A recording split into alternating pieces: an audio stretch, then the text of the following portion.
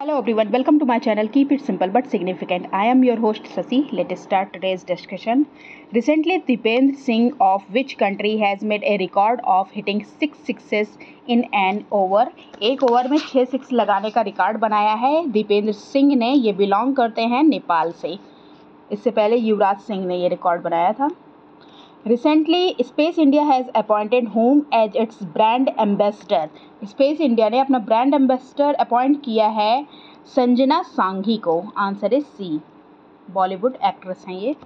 In which country was the Janakpur Dham cultural festival 2024 organised Janakpur Dham सांस्कृतिक महोत्सव 2024 का आयोजन किया गया है नेपाल में और इसे नेपाल की, नेपाल में इंडियन एम्बेसी के द्वारा किया गया है।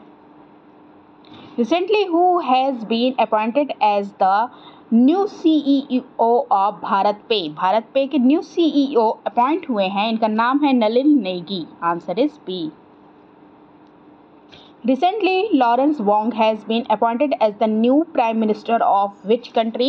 Lawrence Wong appoint हुए हैं न्यू प्राइम मिनिस्टर सिंगापुर के answer is B which airport has been declared the world's busiest recently.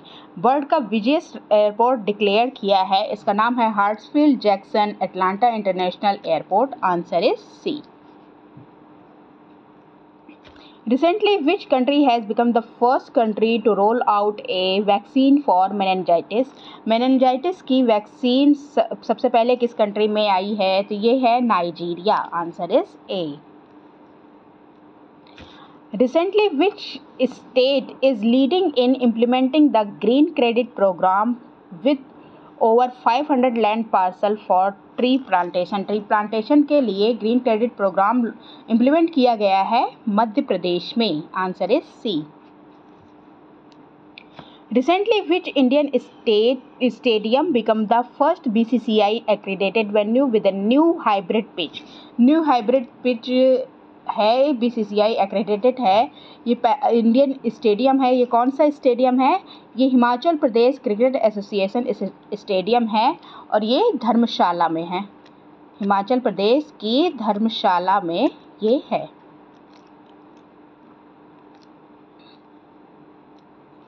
Who has recently made the record of scoring the most run in I P L I P L में सबसे ज़्यादा score करने वाले run score करने वाला का record किसने बनाया है? तो ये सनराइजर्स हैदराबाद है। Answer is B recently who has been named as the young global leader in the W E F दो हज़ार चौबीस क्लास तो यंग ग्लोबल लीडर बने हैं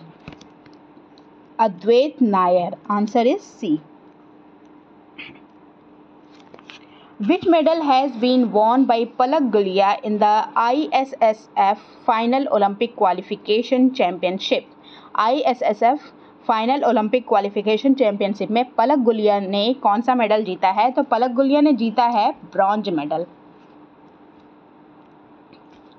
when can comet Pons Brooks come closest to the sun धूमकेतु Pons book कब सूर्य के सबसे नज़दीक आ सकता है? तो ये 21 अप्रैल को सबसे नज़दीक आ सकता है। इसे बृहस्पति के आसपास मंडराते हुए देखा गया है। Who has recently been awarded an honorary doctorate by Chennai Vels university Chennai Vels university के द्वारा मानद उपाधि दी गई है। किस एक्टर हैं? कौन से एक्टर हैं ये? इनका नाम है Ram Charan. Where was the national women's hockey league organisation for the first organised for the first time in April 2024 April 2024 में पहली बार राष्ट्रीय महिला हॉकी लीग का आयोजन कहाँ किया गया? तो ये रांची में किया गया, रांची कहाँ की राजधानी? तो झारखंड की राजधानी। और ये पहली घरेलू हॉकी लीग है। When was world wise day celebrated recently world wise day celebrate कब किया गया? विश्व आवाज़ दिवस। तो ये सेलिब्रेट किया गया 16 अप्रैल को।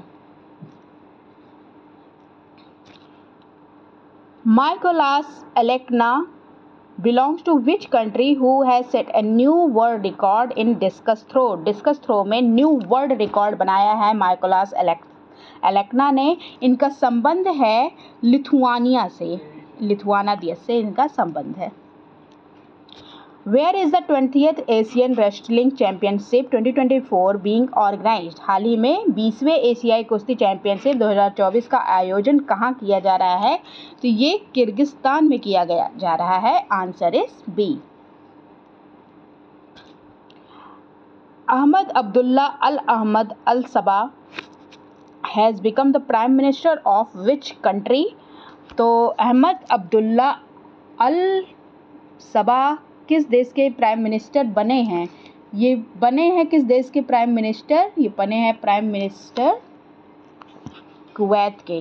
Answer is D. Okay? Army chief general Manoj Pande has left on four day visit to which country? Army chief minister army chief general Manoj Pande ये बने हैं ये गए हैं Uzbekistan. Answer is B. Uzbekistan गए हैं four day visit के लिए और ये पंद्रह अप्रैल को गए। पंद्रह अप्रैल से ये चार दिन तक वहाँ पे रहेंगे। That's all for today if you like my video please do like comment share and subscribe thank you